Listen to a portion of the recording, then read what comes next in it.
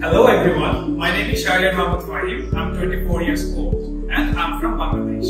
Currently, I'm an undergraduate student studying electrical and electronics engineering in University Technology Malaysia. My hobby is playing guitar, playing flute and watching movies. Throughout my university life, I participate in some programs such as Connecting Asia Conference, Facebook Cultural Program and Malay Singing Competition.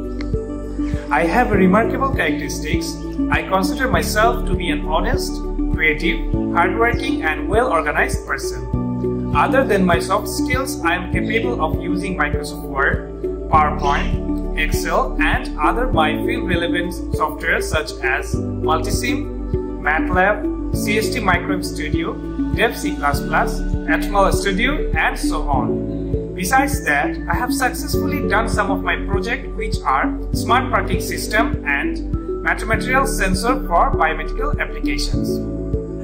I am interested to join an organization where I can utilize my skill and knowledge professionally. If you are interested to hire me, please contact me by my email. Thank you.